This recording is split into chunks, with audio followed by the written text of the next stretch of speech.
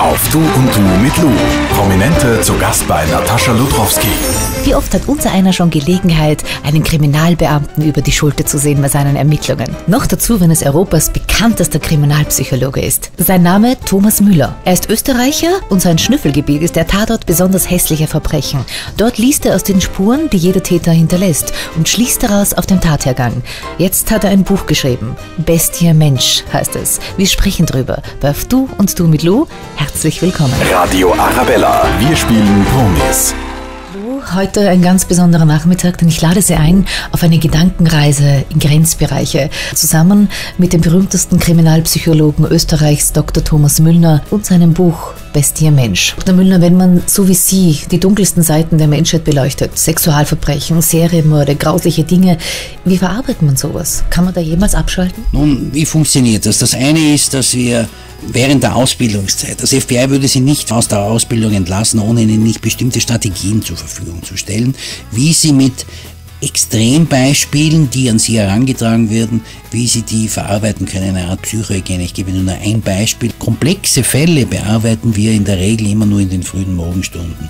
Und den restlichen Tag verwenden wir, ich weiß es nicht, um ein Interview zu geben, um Tickets zu bestellen, um einen Bericht zu machen oder sonst irgendetwas. Das heißt, Sie haben schon alleine die Zeit, um von gewissen Dingen Abstand zu nehmen, wenn Sie dann um 18, 19 Uhr oder später nach Hause gehen. Bei Ihnen klingt das alles so selbstverständlich.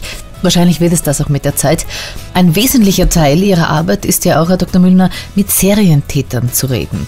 Wie schaffen Sie das, diesen Bestien, unter Anführungszeichen, gegenüberzutreten, ohne Abscheu oder noch schlimmer, ohne Angst? auf die Gefahr hin, dass es jetzt akademisch klingt, aber es ist eine Frage der Methodik. Ich verwende sehr gern das Beispiel, wenn wir beide Schach spielen würden und Sie würden sich während des Brettspiels fürchterlich darüber ärgern, dass meine Krawatte nicht gebunden ist, dass meine Haare nicht frisiert sind oder dass ich nicht vernünftig rasiert bin, dann würden Sie beginnen, auf dem Brett Fehler zu machen. Sie gehen emotionell an die Sache heran und verkennen, was eigentlich das Ziel ist.